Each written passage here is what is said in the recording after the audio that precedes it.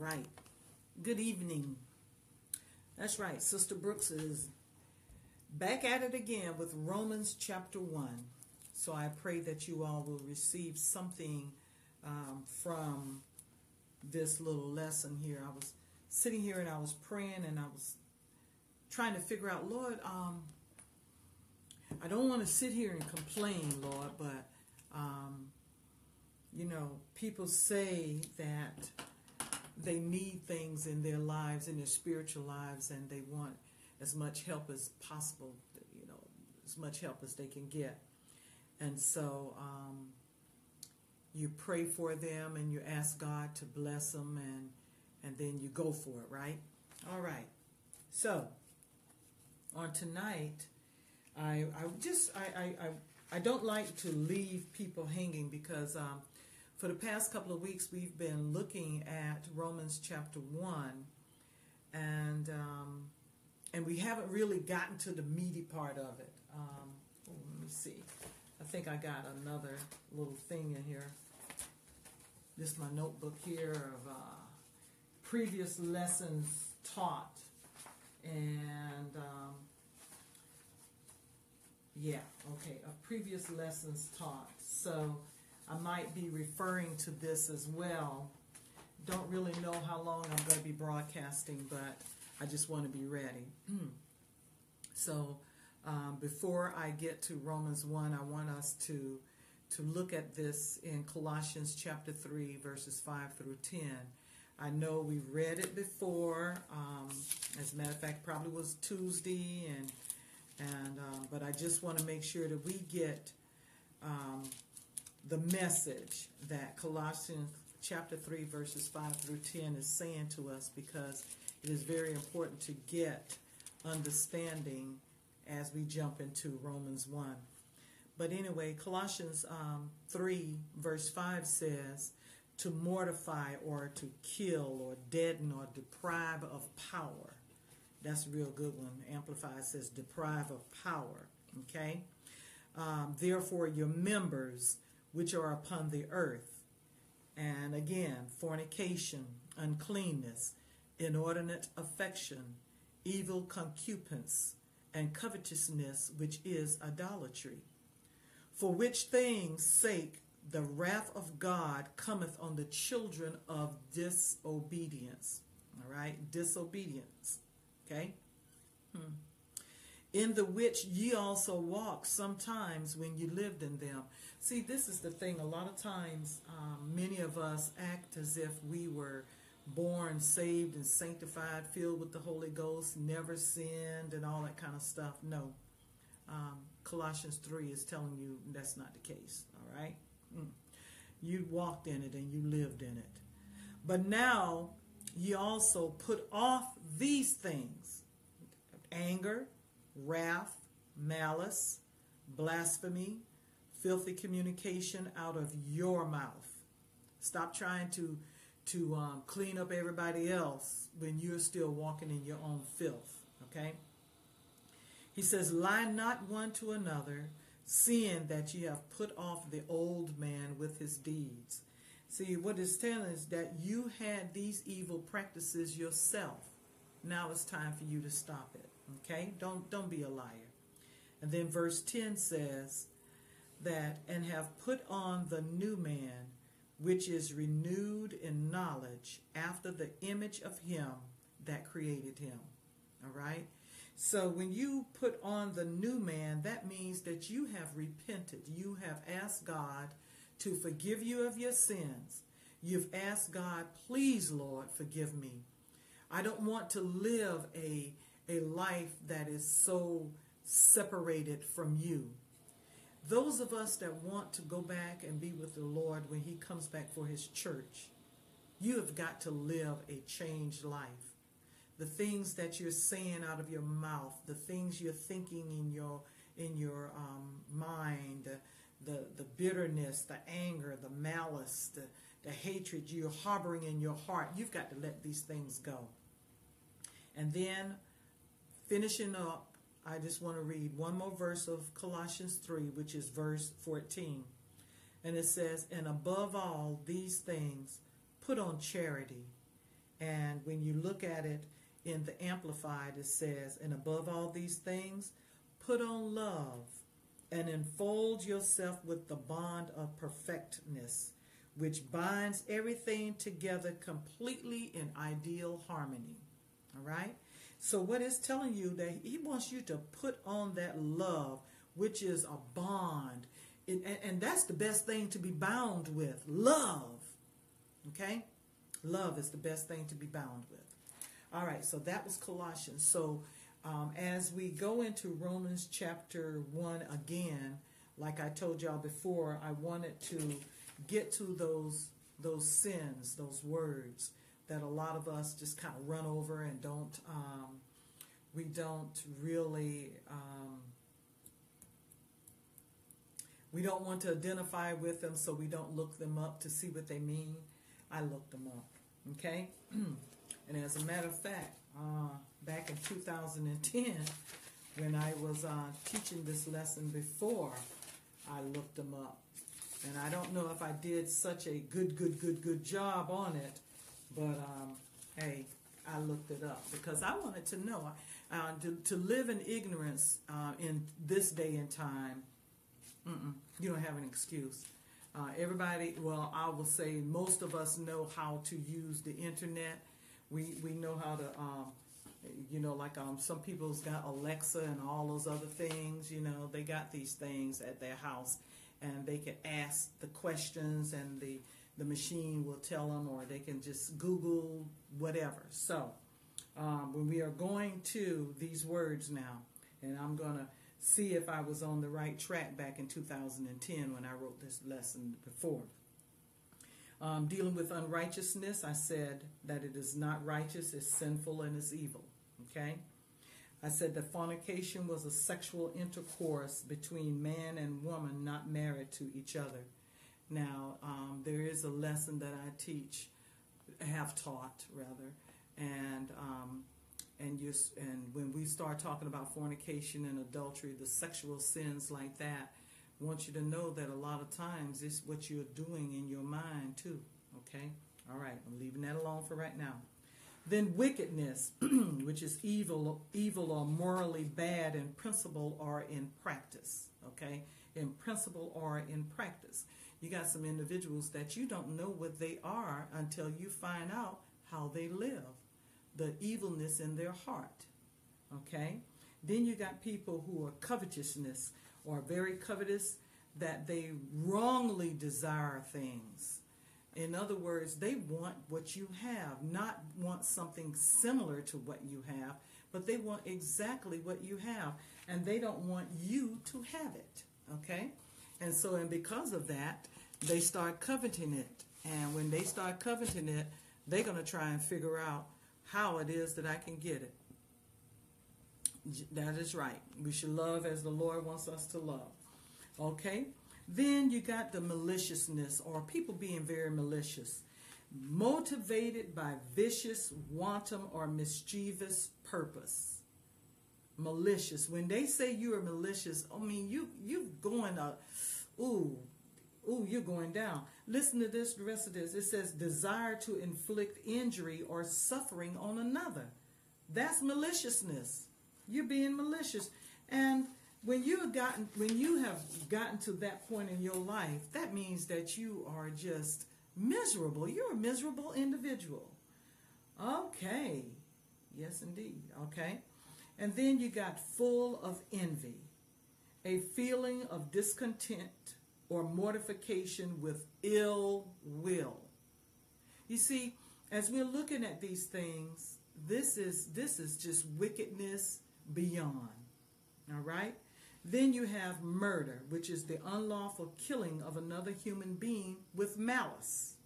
Okay, maliciousness, malice, ill will. Okay, um, you want to inflict injury or suffering on someone. When you want to murder someone, be it verbally or physically, you don't want that individual to survive. And that is so sad. All right? Then you got now, in high school um, and probably college, you have um, students who debate. It's a class, right? And so they discuss or they argue. We're not talking about that type of debating. We're talking about a negative. You can't say nothing nice at all. You're constantly arguing, constantly bringing up stuff that should have been buried years ago. And you just want to continue to to have a a, a relationship where everybody is at each other. They don't have any kind words for anyone. That is that's sad. And then deceit, which is an act or practice of deceiving, perversion of the truth. In other words, you're twisting the truth. That's a cute way of saying you're just telling a lie. All right, for the purpose of misleading or fraud.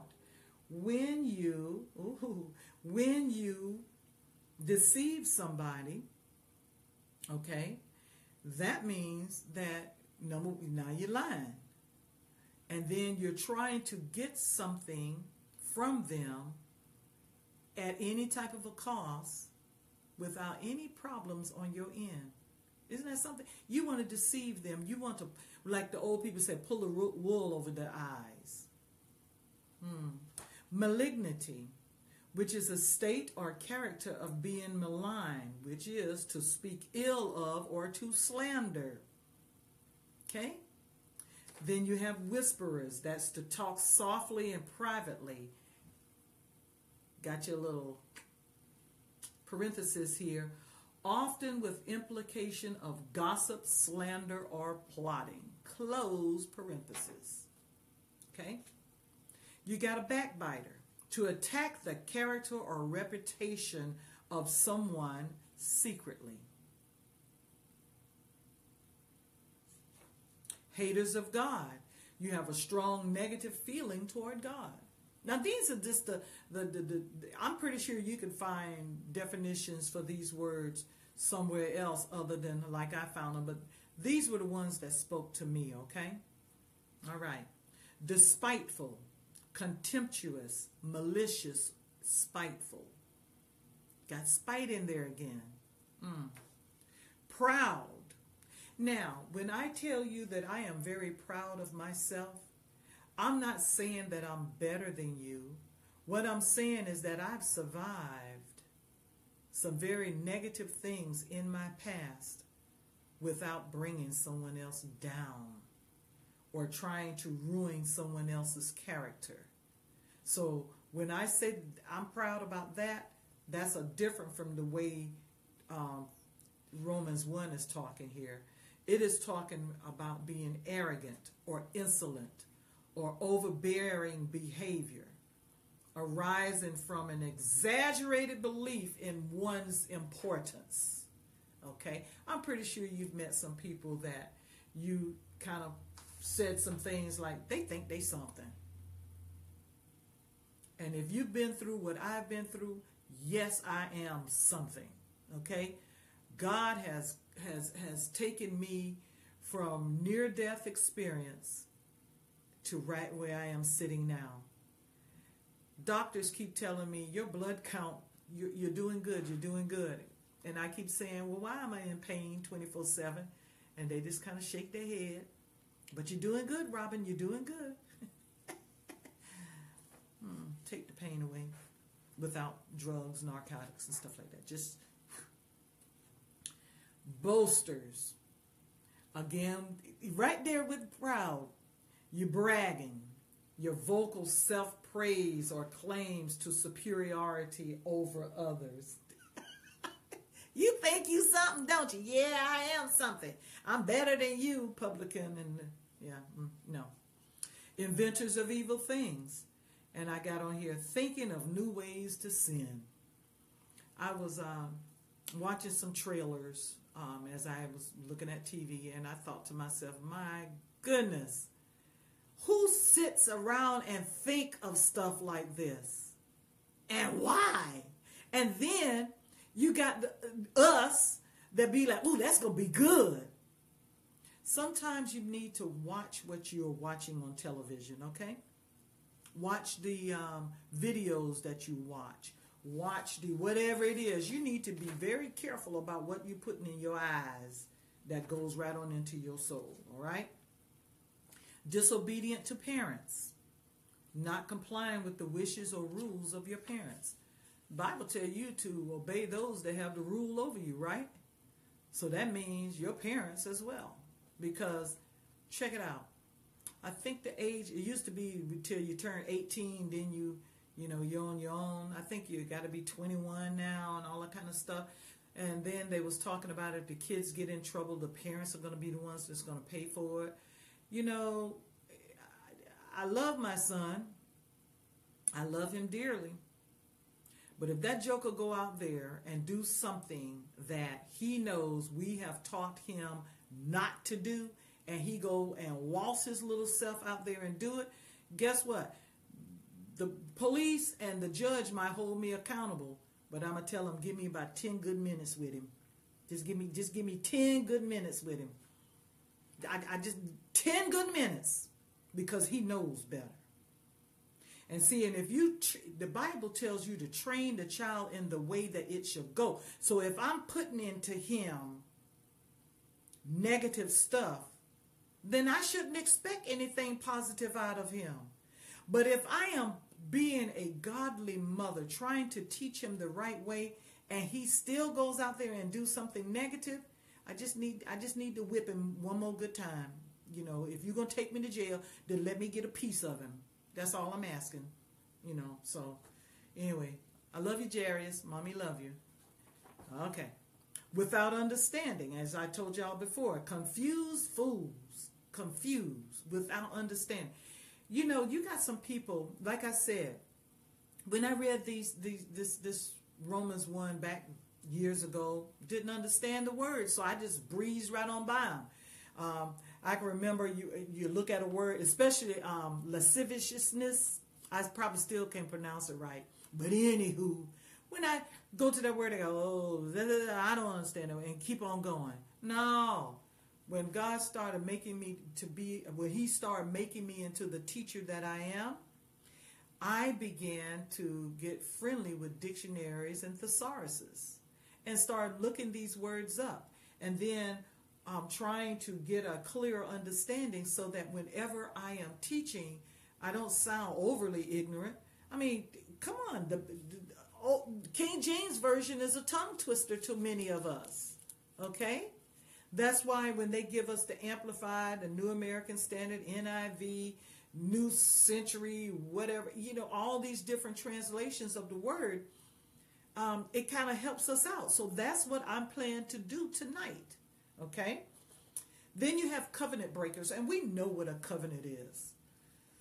We know. You know. And if you are a type of a person who goes around just to to make it hard for somebody else, something truly is wrong with you. You need God in your life. Definitely. You got to learn to keep your promises. If you promise or if you put your word out there and say, This is what I am going to do, it is best that you go ahead and do it. You said you was going to do it, then do it. Without natural affection, I said that was unsociable. Implacable, I says not to be appeased or pacified. I gave you the example of the little baby um, you swallowed it, you wrapped it up real tight, and it still was crying. You picked it up, it still was crying. You gave it something to eat, and then all of a sudden it stopped crying. Why? Because that's what it wanted. It wanted to be fed. Sometimes they just want to be held too. And Auntie Robin is not a baby holder. You know, Omar don't hold babies, especially crying babies. I'll jostle you around a little bit and see if you'll hush up. And then it's you, you on your own, buddy. You gotta lay down there and enjoy yourself. And then unmerciful. You're cruel and you're merciless. So this is what I wanted to share with you all tonight. I had told y'all I wanted to give you those words. I wanted to explain those words to the best of my ability. But now, this is what I want you to understand. Came up. This is when I was praying, and I was like, Lord, you know, what what am I going to teach on tonight? and he said this that of these sins of Romans chapter 1, verses 29 through 31, he said these sins were mental sins, which are mental or spiritual, okay, physical sins, and spoken sins. Now, you don't have to agree with me. This is just Sister Brooks. This is, you know, this is me. For the spiritual or the mental sins, I said unrighteousness. Okay? You can act unrighteous. I, I know that. I know that. But it is an inward thing. This is your lifestyle. Oh, Lord, have mercy. Wickedness. It's a lifestyle. You choose to do these things. Covetousness. You choose to, to, to want something that doesn't belong to you. You choose that. You choose to be malicious. You choose to be full of envy. You choose this. See, this is a, a spiritual thing. This is something that you sit and you stew on. You work on that mentally. You work on that. You choose to be a murderer. You choose that. Be it that you're going to kill them with your mouth or physical. However, you choose this. This is a thing from your heart. Glory be to God. Haters of God. This is a choice that you make. You decide that you no longer want God in your life. You make that decision. Now, okay, I understand that uh, many of you all say, well, if sister so and so, if brother so and so, or, you know, yeah, you're going to find a lot of wolves in sheep clothing. Get over it. Move on. Learn how to, like I used to say when it came to reading and the understanding of the Word of God. And if a preacher or a teacher is teaching something and you go, wait a minute, does the Bible really say that? Let me, hold on, let me show y'all something. And I advise you all to get one of these. If a preacher says something I don't quite understand, oh, I write it down. Well, I write it down. And and then I will go back later on and try and figure out what was he or she saying. What were they teaching about? You understand? You know, you have to get ignorant and stuff like that. Or you can just, after the service, go up and, and say, well, pastor or sister or, you know, whoever, um, you said such and such. What did you mean by that? You don't have to be belligerent and ignorant about it. Write these things down. That way, then you can study to show yourself approved unto God, a workman that needeth not to be ashamed, rightly dividing the word of truth. I had to put my hand on my hip, y'all. That one felt good. That one, that one felt pretty good now. that one felt pretty good. All righty here now. I said, haters of God. Despiteful. That's another spiritual thing. Spiteful self. Proud. Pride. Pride. Pride inventors of evil things. Lord have mercy. You sit there and think of something to do. You sit there, honey, Sister Brooks, I sat there, I sat in my house for months because I was hurting so bad. And I sat there and I was like, man, mm, I need to figure out, I need to learn something else to do. So I started back, going back trying to knit all I knew how to do was knit. That's all I knew how to do was knit and then knit. It was just one stitch. I knew how to do that. Didn't know how to cast off. I knew how to cast on, but didn't know how to cast. So when I went home to or- um, Orangeburg, to, to uh, Columbia, South Carolina, my cousin showed me how to cast off. And I was like, whoa. I can't remember if she taught me how to purl. I think she did. But could not figure it out. I just, I mean, I watched her and I practiced it. Did, and then when I got back home up here, and I was just sitting there and I was thinking about it. And then, bing, it, it occurred to me how to do it. And then I sat there and I did it, and I was just so happy. So if I'm going to invent something, or if I'm going to learn something, trust me, it's going to be something for my good. That's the same thing with me learning how to make soap. I remember Mother Dolores Latson, God bless her. I went home to see her this year um, before she transitioned to be with the with the singing sisters. Mother um, Mildred Washington and um, Mother Althea Green. Those three, you know, and Mother Latson, they sung up something when we were young. Oh my goodness! And so, I uh, I told Mother Latson, I said, Mother Latson, I, I learned how to make soap, and she says, you're making soap with old grease?" And see, if I hadn't uh, you know, read some books and looked at some videos and stuff like that, I wouldn't have understood what she meant. But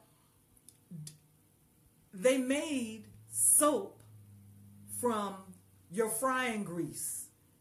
And they and now you got people that's still doing it. They're going to the restaurants and they're getting the old grease. That's why they have a special container now for the grease. And they're cleaning the grease up and some people are cleaning it to the point where they can make soap out of it. Isn't that beautiful? Nothing wasted.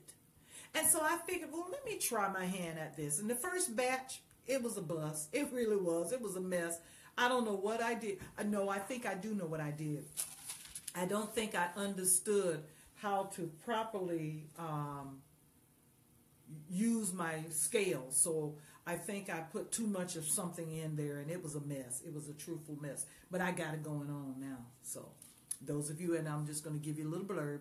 Um, those of you that would like to buy some soap, contact me and I'll be more than happy to ship you some soap.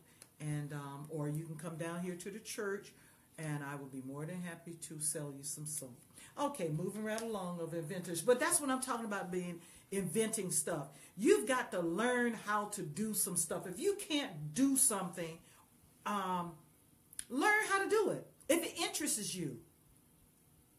So I don't know what the next couple of months is going to bring. What what new thing I am going to that my mind or that the the devil tell me you ain't gonna be able to do that, and I'm saying, hmm, I'm not, eh? Let me see if I can study up on it.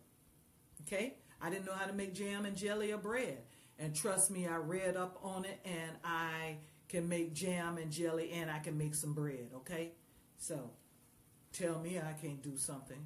My joints might hurt me real bad, and I mean from up here all the way down to my feet, but I'm still going to move on in Jesus' name. And see, and that's what the devil don't want us to do, y'all. He does not want us to move upward forward. So you have got to learn that you are beautiful, wonderfully made. God loved you so much that you did not die in the womb and you are still alive right now. So stop telling yourself you can't and start telling yourself I can learn. Okay? I'm not the sharpest pencil in, in, in the pouch. But if God give me something to do, and if and my interest and if it's not against God, then you bet your bet I'm bippy. I'm going to go ahead and try and do it, okay? All right. So I said, inventors of evil things and without understanding. The only reason why you don't have understanding is that you're not studying. You're not trying to understand. You've got to try to understand. That's what teachers are for, preachers, all of those. That's that's what they're for. You I mean, you got these women and men that go to college for four years and some of them perfected even all the way up to their PhD to be able to teach you something. All right? So without natural affection, you, you can't continue to blame the fact that your mother and father did not hug you enough.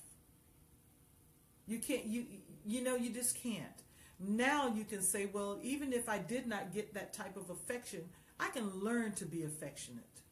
This is a thing that you have got to want to do. But see, see what I'm saying? That this is a spiritual, this is a, a mental thing. This is something that you're holding yourself back from. Right? Implacable. Remember when I said that?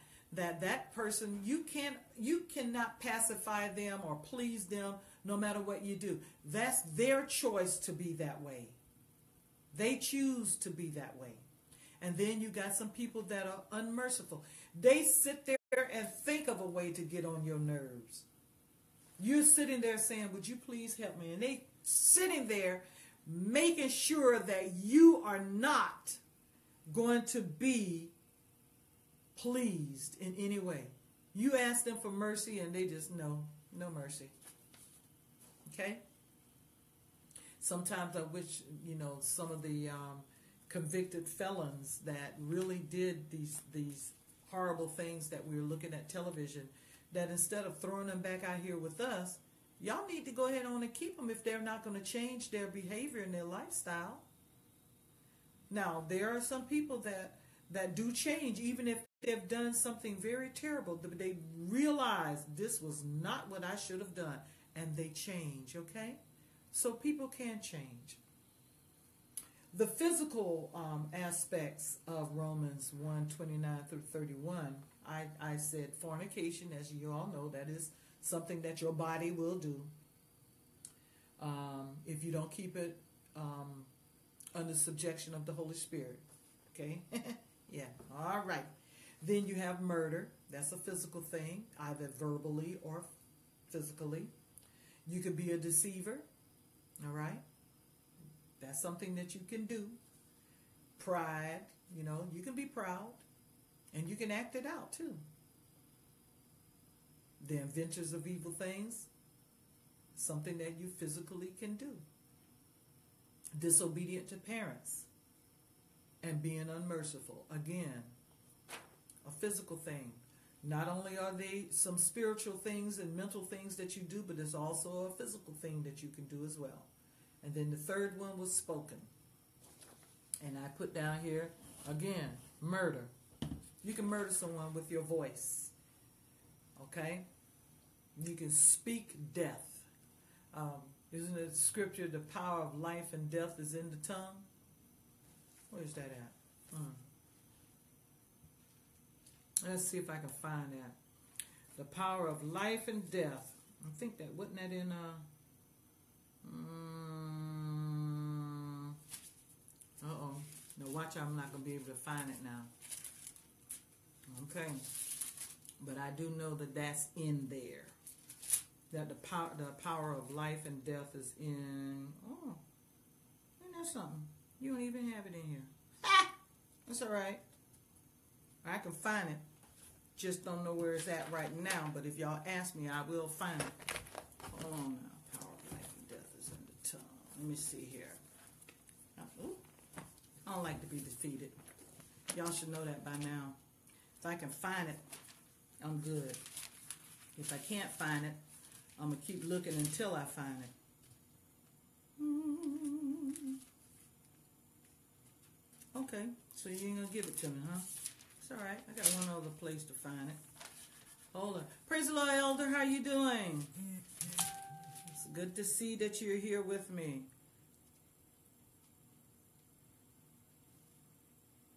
Yeah, fooey. Didn't find it. But, uh-oh. I didn't look in the right place. T-O, yeah, here we are.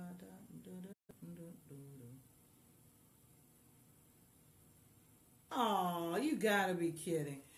Not in either one of them, but that's okay. I'll find it later on. Let me write that down. Where is that at? Power of life and death. Of life and death. Okay? Now, those were the mental and the, and the physical ones, and for the spoken ones. You got, I said murder, debate, always arguing and carrying on, deceit, that's a spoken one. You can be very deceitful and you can tell people.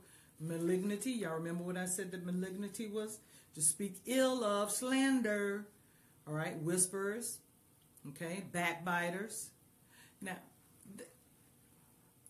we should know that if a person is still in their sins, that they're going to do these things. But once you say that you are a child of God and you know you're doing these things, you should do your level best not to do it anymore. And that's where fasting and prayer comes into play, okay? Boasting, disobedient to parents. Like, um, I remember when my son was little, and um, and I asked him a question, and he told me, "I'm not going to tell you." And I said, "Oh, no, wait a minute." And I said, "You and I don't have any secrets." And he still didn't want to tell me, but I told him, You don't have secrets from mommy. Because I meant that thing. Because I don't want him to, to wind up wishing that he could talk to his mother and he can't. Or wishing that he can talk to his father and he can't. Um, I don't want my child to go around and, and, and to say, I never was able to talk to them about anything personal and all that kind of stuff or just about anything. I want him to be able to come to me and say, Mama, you know, whatever the situation is, and we can talk. Okay? So I don't ever want him to be disobedient to me. And I trust me, I am 62 beautiful years on this earth, and I have yet to be disobedient or disrespectful to my mom. Although we don't have the most wonderful relationship, but that's her choice and it's not mine. Okay? And a covenant breaker. That is something that you do. All right? So if you have your Amplified Bible, oh, wait a minute, somebody giving it to me. There you go. Thank you, Candy. Proverbs 18:12. All right, I knew somebody was gonna find it because I was gonna keep. I was gonna keep looking for it. Proverbs 18. I bet I got it marked in here too. Ha ha ha. That ain't it. You said Proverbs 18:12. Wait a minute, let me see. Yeah, Proverbs 18. Robin, what are you looking at? Oh, you're not looking at 12. No, it ain't. Uh, it's not it. I got here Proverbs 18:12 it says, "Before destruction the heart of man is haughty, and before honor is humility." Oh, I thought you had it from a candy. Oh, 21. Let me see. Did somebody say 21?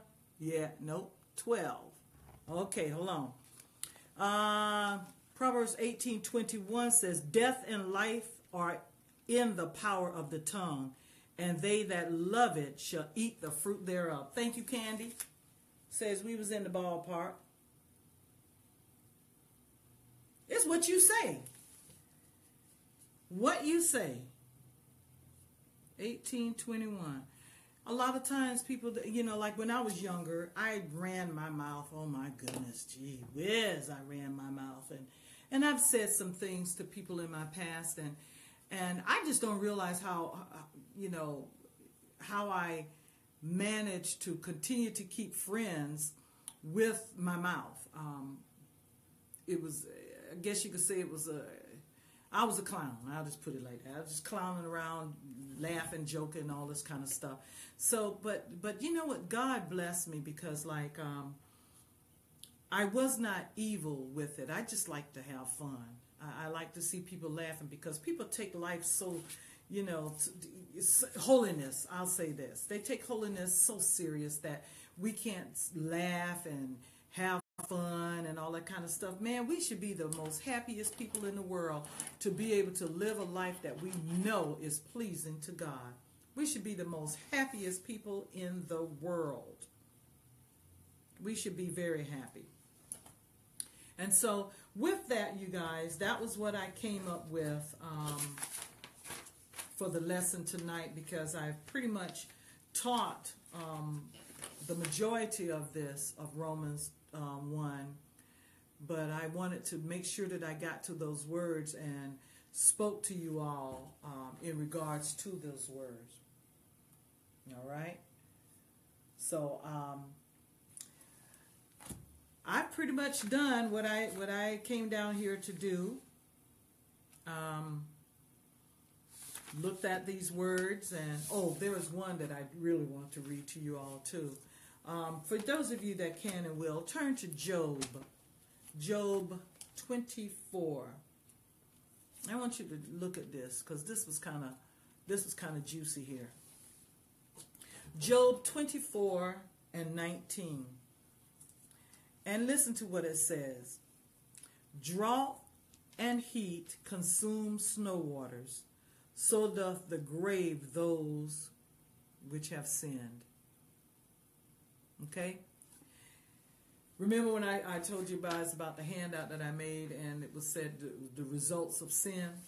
Well, that one in itself, that struck me really, really good because it's letting you know that the drought and the heat, it's going to melt snow.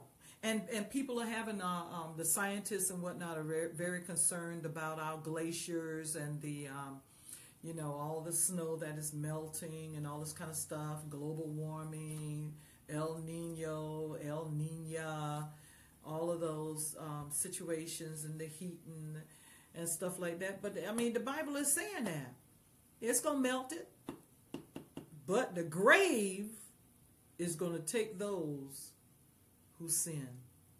So if it is in your desire to be saved, I will pray with you tonight.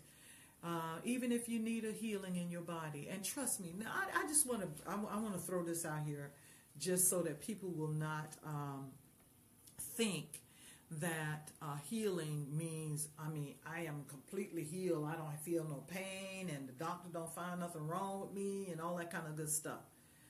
Sometimes your healing is a spiritual healing. When this illness came on my body, and I'm only going to talk about Robin, I'm not going to talk about nobody else.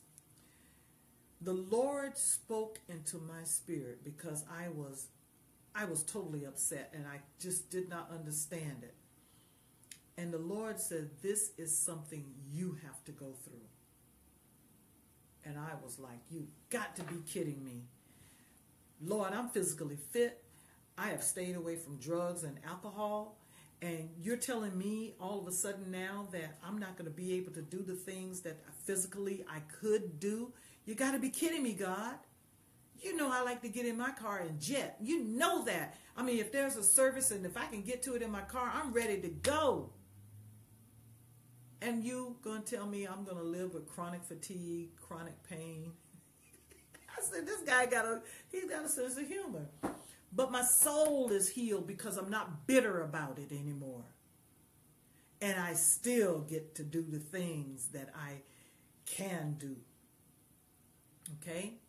I'm reminded of when last year I was able to go to San Diego and I had myself a good time. The body might have been hurting, but boy, I had a good time. And I praise the Lord for that. I went to, where did I go? I went to um, I just came back from um, Louisiana, not Louisiana, where was I? Kentucky. And then I went to South Carolina and I went to, I mean, I get to go. I might not can go as much as I used to go, but I can still go.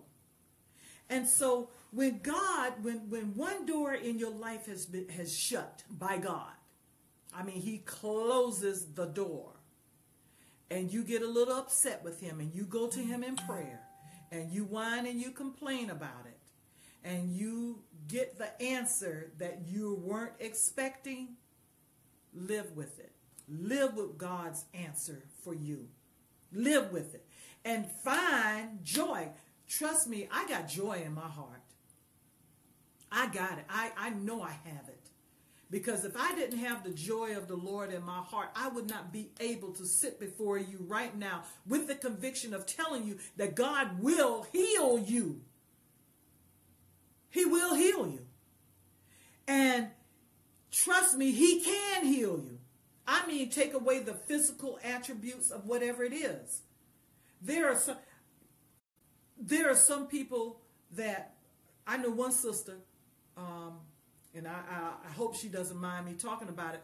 But she she said, Sister Brooks, I I looked at my hand and I could see my hand slumping down. And I held my hand up and said, See my hand, Jesus? She was having a stroke. And trust me, that sister, all she thought about was dancing before the Lord. And she said that she that was the main thing that she was really worried about. Can I still dance before God? Now, Sister Brooks can't can't pick him up and put him down like she used to. But trust me, I'll pat that foot. And if he moves this body, trust me, I'm going to move this body in joy and happiness to God. So trust me, God will and can heal you. Where is your faith? Now, do I not have faith that I, that my body can be healed?